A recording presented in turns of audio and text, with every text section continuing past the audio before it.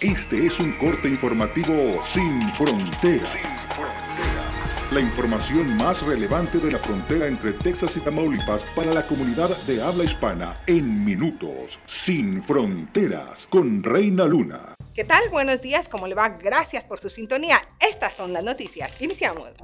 Este 30 de enero, los interesados en ser los candidatos del PRI a la gubernatura de Tamaulipas deberán registrarse como tales, pero la elección o ratificación en caso de que se hable de un candidato de unidad se hará hasta el 28 de febrero, según se dijo ayer en la convocatoria lanzada por el PRI Tamaulipas. La convocatoria señala entre sus bases los requisitos eh, de carácter constitucional, los requisitos de carácter electoral, los requisitos de carácter estatutario, que son una serie de documentos, pero también señala la posibilidad y la necesidad de los apoyos que debe conseguir cada aspirante para poder solicitar su registro. También señala que el método para la postulación y elección de nuestro candidato será el de la convención de delegados bueno, estas fueron las palabras del señor Lesiur Talavera, presidente de la Comisión Nacional de Procesos Internos del Comité Ejecutivo Nacional del PRI, gracias a nuestra corresponsal Nora Hernández. En otras notas, la violencia no da tregua en Reynosa. Ayer la Secretaría de Seguridad Pública activó la alerta para Reynosa y la ciudad encendió el semáforo amarillo al presentarse diversas balaceras en las colonias Loma Real, Los Fresnos y sobre la carretera a Monterrey. Los usuarios de redes sociales dijeron que en la colonia San Valentín también había hechos violentos. Elementos del Ejército y la Policía Federal fueron atacados por delincuentes armados a los cuales se enfrentaron abatiendo a tres de ellos y asegurando diversas armas de fuego. Esto ocurrió en la carretera Nuevo Laredo, Nueva Ciudad Guerrero. Los militares detectaron sobre la carretera tres camionetas estacionadas con hombres armados, quienes empezaron a dispararles. Los tres que abatieron no han sido identificados.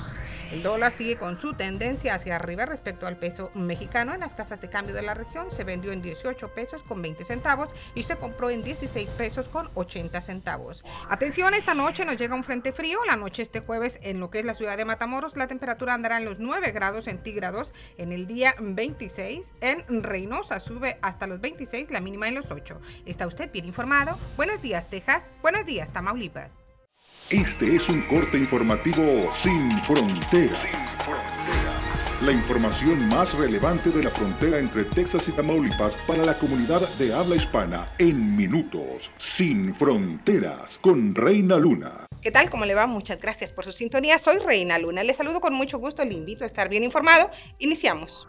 Un fuerte golpe al crimen organizado dieron el FBI y la Fiscalía del Condado Cameron al decomisar en un domicilio de Brownsville que no revelaron 4.000 balas calibre 40 y 762, la usada en las AK-47, además chalecos contra balas y 16 libras de marihuana. Se cree que el lugar donde se encontró esto era solo de paso y el destino final de lo decomisado era México. Un potosino de 48 años de edad fue arrestado en el puente internacional Hidalgo cuando intentaba contrabandear a los Estados Unidos 20 libras de cocaína el pasado 17 de enero. La cocaína, con un peso total de 20 libras, estaba repartida en 12 paquetes dentro de la camioneta que tripulaba el mexicano y tiene un valor de 157 mil dólares. Cinco inmigrantes indocumentados fueron arrestados durante el fin de semana al intentar adentrarse ilegalmente en los Estados Unidos. Los cinco habían sido detenidos por cometer una serie de deplorables ofensas sexuales, dijo la patrulla fronteriza. Otro más sería detenido en el punto de revisión Falfurrias al ser descubierto dentro de un vehículo. El conductor también fue arrestado. Pedimos su colaboración para encontrar al mexicano José Luis Plata Rizos, que desapareció el 20 de julio del 2015 cuando cruzaba por Sonoita, Sonora, hacia Arizona, Estados Unidos. También buscamos a Juan Álvaro Medina Guillén, mexicano de 38 años, cruzó por Nuevo Laredo, Tamaulipas, hacia Texas y desapareció en la milla 43 en julio del 2012.